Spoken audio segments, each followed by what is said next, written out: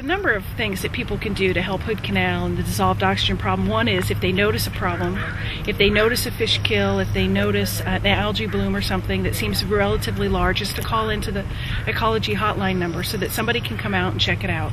And people that live in the canal or visit the canal frequently are the ones that are going to be able to determine if something's unusual. And that's what we need is a lot of eyes and ears on the canal that can see little changes and things and report it to somebody so that scientists can come out and look at it. The other thing is just, you know, when you take your pet down to the beach, don't let them, you know, go to the bathroom on the beach. Make sure that they're, you know, using the facilities and you're picking it up and, you know, looking at your septic system, making sure when you mow your lawn, if you're lucky enough to have a waterfront property, that you know you're not blowing the grass clippings into the bay because that's going to help rob the oxygen out of the bay. So little things that people can do, putting in the sink screens to help the nitrogen there. Um, you know, washing your dock with a little um, elbow grease and a stiff brush instead of using um, toxic detergents can also help, especially if it's over water. Growing shellfish in your beach, um, you know, little things like that will help a lot.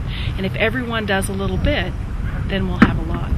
With septic systems, it's just one fundamental thing that people have to understand is that maintenance is a lot cheaper than repair, and that if they get accustomed to an operation and maintenance program on their own septic system and they know where it is and they know how to handle it, then they can avoid some really horrific costs in the future.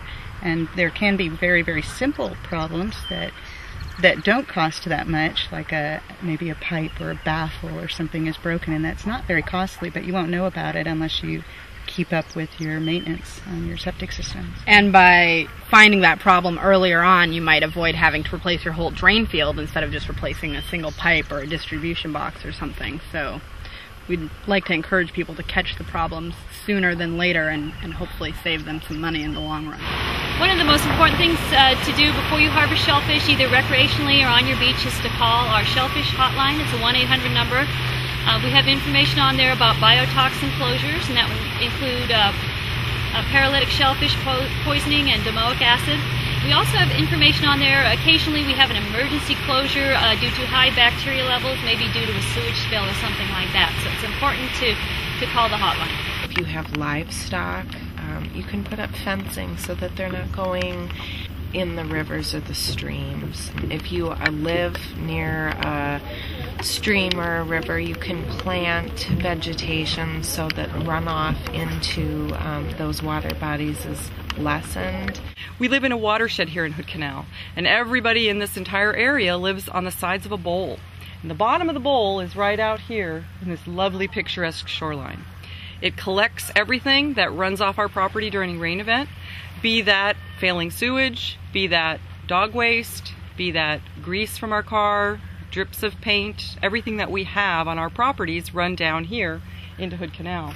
In the end, what we'd like to get from the science is to provide, um, help guide decisions that the corrective actions uh, will then be able to move forward so that uh, these issues we have in the canal, such as the uh, events, fish kill events, that uh, we can understand why, maybe forecast the when they may happen, and do things try to minimize um, at least the human impact that we have on the canal. Because as the population grows, people have sure discovered the canal. It's a wonderful place, and we'd all like to be able to um, have the opportunity to be here and, and make sure that it works for both the the animals that are here, uh, maintaining the water, and for the people. We need to make sure that this water is healthy, that our children are going to be able to come out here and go fishing and crabbing and do all of the wonderful things that we we do and that we take for granted right now.